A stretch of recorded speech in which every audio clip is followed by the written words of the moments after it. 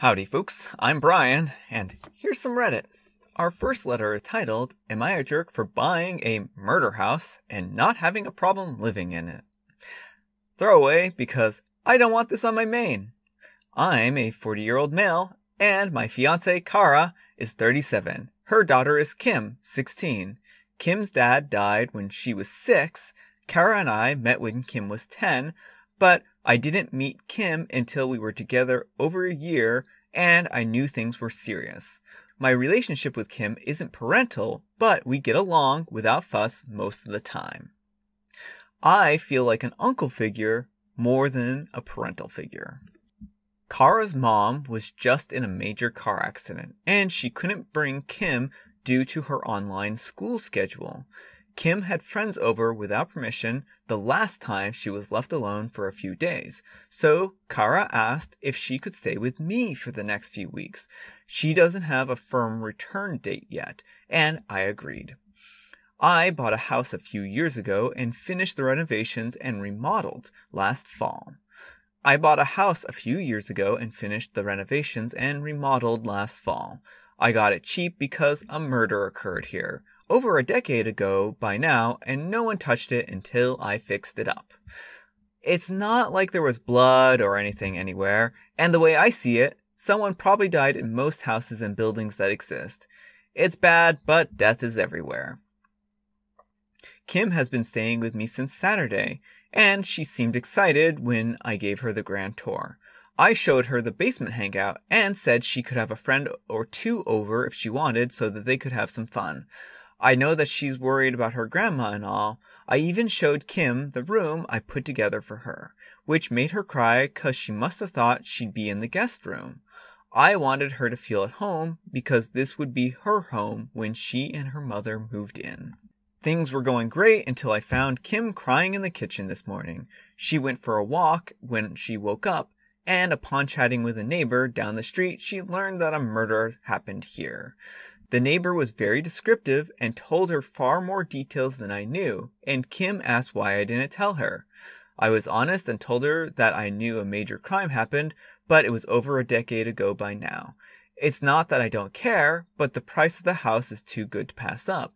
No way I could have afforded a house this nice and big under normal circumstances. Kim demanded that I sell the house because she doesn't want to live here when she and Kara move in with me. I told her that's not happening. Kara is too preoccupied with her mom to deal with this right now, but Kim is at my throat. Kim thinks I'm cruel for not caring enough about her to sell my house. And when I told her that I care about her and even made sure she has her own room, she snapped and said that I just don't get it.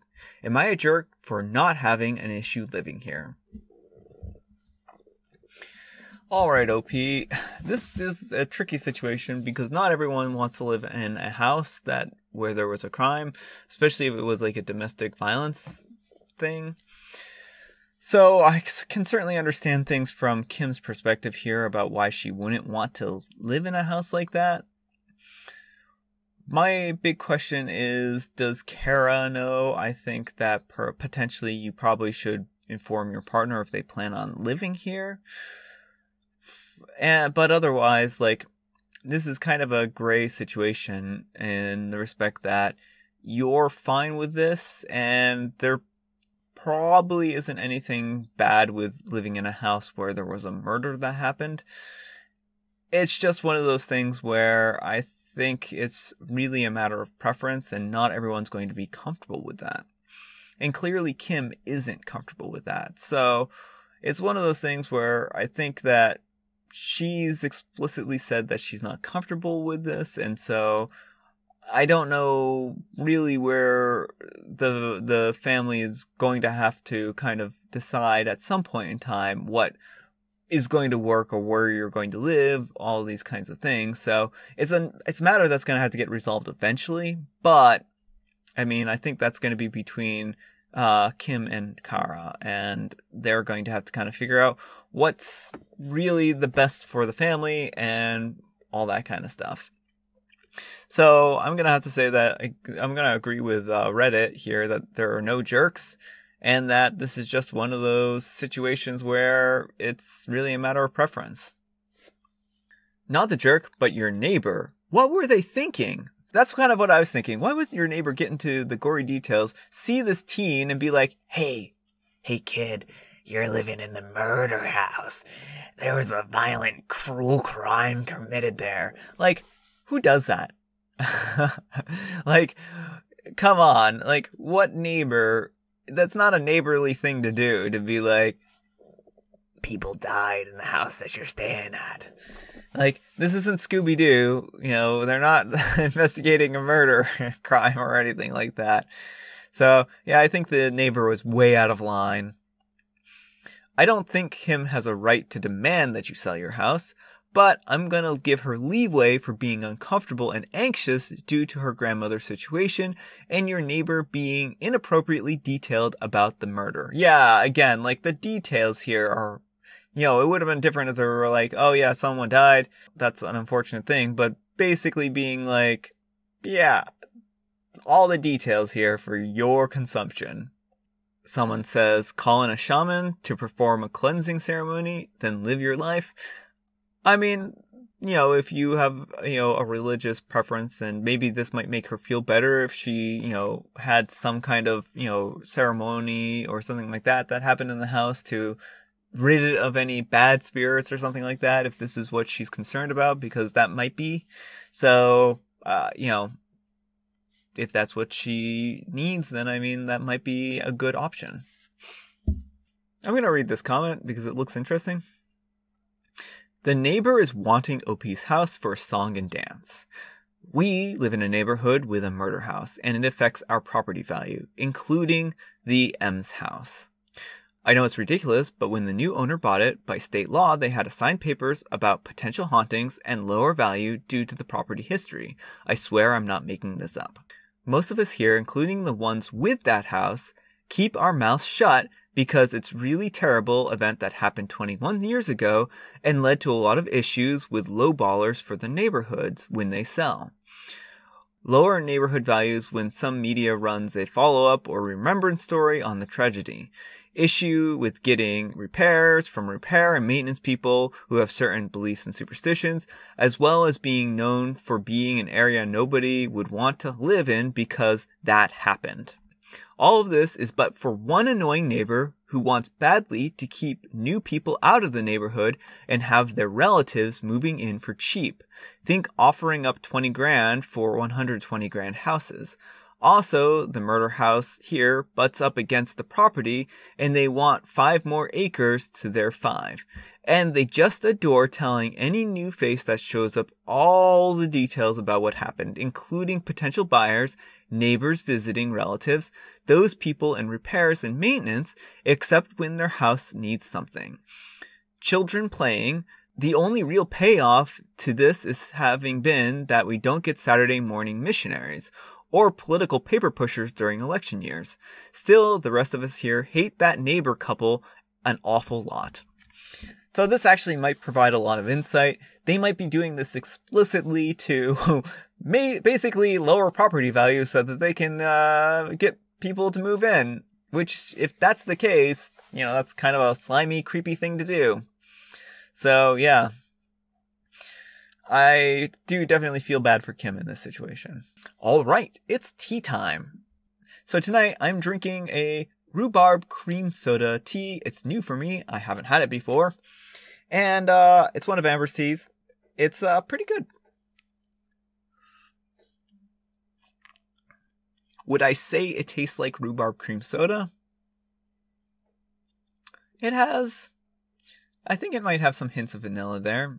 Has some hints of rhubarb. It's really not terrible.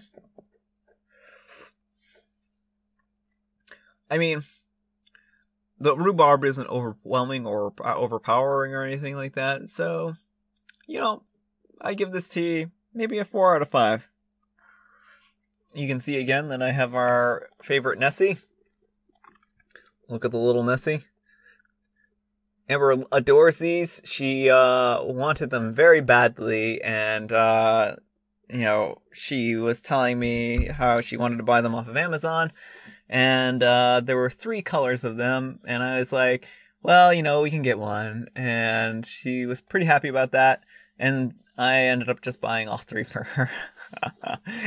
and uh, then she was very, uh, very happy that she had her little Nessies, and uh, they're they're cute. They're they make for nice little tea uh, diffusers. I the one thing I don't like about these Nessie tea, tea diffusers is the holes are really big, and uh, so if you don't like particulate in your tea, then um, these are probably not for you. But overall, yeah, I mean, that's that's the disadvantage, but not too bad. All right, tea time is over. Let's move on to our next story. Am I a jerk for calling my parents insensitive after their reaction towards my late brother's wife's pregnancy test? My older brother passed away almost two months ago, and the feelings are still very fresh. My sister in law, his wife, is staying at my parents' house right now because she can't set foot in their apartment. I'm a 29 year old male and I live a few houses down from my parents, so I'm over all the time right now, being there with them, so we all have that support. Two weeks ago, my sister in law was getting sick, throwing up and stuff, but grief makes it hard to eat sometimes. I know because I've dropped five pounds and can't eat much either. But since this only recently started happening to her, my mom became ecstatic out of nowhere and said maybe she's pregnant. This really freaked my sister in law out, and she honestly looked terrified. My parents went on talking about how beautiful it would be to have a baby right now, and it's my brother's parting gift. This did not make her happy at all. She bought a pregnancy test the same day and it was negative. Sister in law was relieved, but my parents were not. My mom told her to wait another week because sometimes it takes a while for the hormones to change or something like that. Again, it came back negative. My mom is still insisting that she's pregnant, and sister in law has an appointment tomorrow to confirm, but she's pretty certain she's not. At dinner yesterday, all they would talk about is the baby, and sister in law admitted she doesn't want a child right now. This really angered my mom, and she said my sister in law was being very cruel for not wanting her child.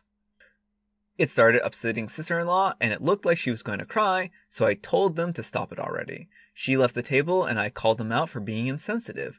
I said they don't get how she just lost her husband. Do you really think she wants to be a single mom right now on top of what she's going through? And why would they want this pregnancy when it'll mean that their grandkid will grow up without a father? I was pretty red in the face telling them this because it really got to me. All week, I've told them to leave her alone about this because it's obviously too much for sister in law, and they just wouldn't stop. Even when she tells them she doesn't want to talk about it. This made my mom emotional too, and she told me that I don't understand because I'm not a parent. Then my dad got mad at me for reacting that way, when they just want to be happy about the possibility of having a grandchild. But to me, it's been pointed out to them that sister in law isn't happy about this, so why push it and make her uncomfortable? My parents are still mad at me. Dad does think that I was a jerk for calling them insensitive and making it seem like they were doing something wrong. Sister in law is still a mess and anxious about her appointment, she says she doesn't believe she's pregnant, but she says she doesn't know what she'll do if it somehow turns out she is. Anyways, I'd like to know if what I said makes me a jerk. It really made me mad. Alright, OP, I'm gonna have to say that you're not the jerk here, and your parents are way out of line. Like, this would be different if she was excited and she was looking forward to it, and she was like, oh, I hope this is the case, and then it would be fine. But as it stands here, she's not wanting uh, to be pregnant. And my question is if your brother passed away. Okay, so yeah, I was thinking that. So your brother passed away two months ago. If she hasn't had her period in two months, that might still be a concern. Even if it isn't a matter of pregnancy, it still is a concern for other reasons here. So she definitely should see a doctor. And she definitely should work this out because, yeah, that's not uh, a good place to be, especially if she thinks, if there is the possibility that she could be pregnant. So, um, I mean, I know that like grief and being upset and stuff like that can also do things to the body. So if, you know, that's the case, then she, you know, might just be like under body weight or the stress hormones are too much or something like that. I honestly have no medical advice here. I'm just saying that she should see a doctor. Um, but yeah, definitely if she this was two months ago and she hasn't had a period, that may not be a good sign. Not the jerk though. Certainly, your your parents need to stop harassing your uh, sister-in-law and uh, find something better to do with her time because, like, uh, you know, grief affects people in all kinds of ways, and maybe they're feeling like this would be like a small piece of him, and that they could remember him by the child, and and I can understand that feeling. Like, I, I can certainly see why they would want something to like remember the you know their son by. But i think this is wholly inappropriate. I think that this is just not the right time or place and just not a good approach. So yeah. Anyhow take care and uh, good luck not the jerk at all. Thank you for standing up for your sister in law. Your mother is understandably grieving the loss of their child right now and has latched on to the idea that his widow could be carrying his child. Honestly, I hope for everyone's sake she isn't because this isn't healthy. I guarantee that your mother is already thinking of the child as the reincarnation of your brother and will be insufferable. Your mother needs therapy. Your father is also a jerk for completely ignoring that your sister-in-law lost her husband in his own grief for his son. Can your sister-in-law stay with you? It'd probably be better for her. OP replies, I hope so too. She already told me she doesn't know if she could actually make it through the pregnancy, and I get that, but it would cause an even bigger drama with my parents, so here's hoping she isn't. We're talking about that. I told her if she's not comfortable there, she can come here. She just feels guilty about leaving since they took her in.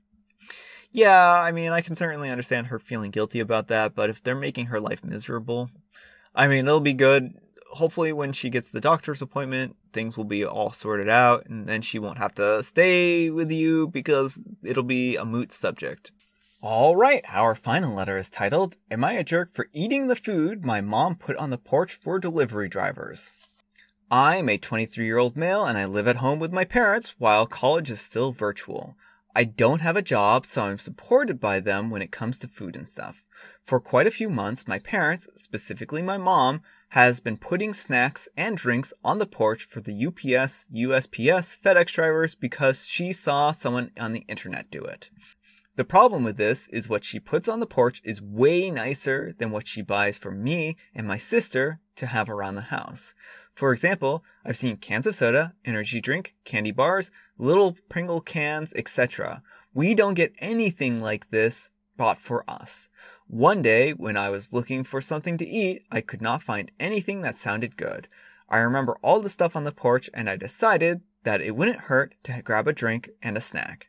Ever since then, I would occasionally grab something when I was really craving it. I guess my mom noticed that the stash was emptying at a faster rate than usual and she confronted me and my sister about it. I wasn't going to lie because I knew she probably already had proof it was me, so I admitted taking the food.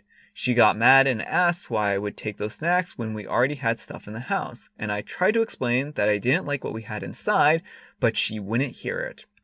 She is trying to guilt trip me now because she told me she was going to stop putting food out for drivers because of me. I don't think it's fair at all to me. Am I the jerk here? All right, OP, I'm going to have to say that you're the jerk here. Your mom put those cans, those snacks out for delivery drivers. If you want those snacks, then become a delivery driver and then you can pick up the snacks. Deal? All right. Also, I know that like you're you know in, not employed right now and it can be hard to get a job and I'm not saying that it is easy, but the the thing is that if you really want to get snacks and stuff like that, and have special things, I mean, I think you're gonna have to probably get your own uh, groceries delivered. And I understand that that's difficult at the moment, but your moms and dad are supplying you with plenty of snack foods and stuff like that. It sounds like it just sounds like you don't like the ones that you have available. And again, like she doesn't want to fund you for having these snacks, so you're going to have to find a way to get them some other way. I think you owe her an apology, and I think that you shouldn't be doing this. And I can certainly understand like where you're coming from with wanting to have tastier snacks, but again, the you weren't entitled to these snacks. These were meant for someone else, and you're just kind of taking advantage of the situation. So, yeah, I'm gonna have to say that you're the jerk here. Anyhow, take care and good luck. You're the jerk, you're 23. Surely you can get a part time job and have money for snacks. It's time to grow up. Mommy and daddy don't have to pay for your snacks. Those weren't meant for you, they were meant for delivery and post workers. Yes, of course you're the jerk. You're stealing food not meant for you. If you want better food, go buy it yourself. Alright, folks. That's all the time we have for today. I hope you enjoyed today's video. If you did, consider giving me a like. If you didn't, consider giving me a dislike. Thanks so much for watching, and I'll see you all tomorrow.